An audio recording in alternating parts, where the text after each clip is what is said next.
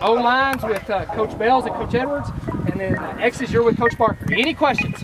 All right, here we go. Right here, let's fly around. We're going straight to it. Let's go. Get it, One, two, three. One, two, three. Hornets.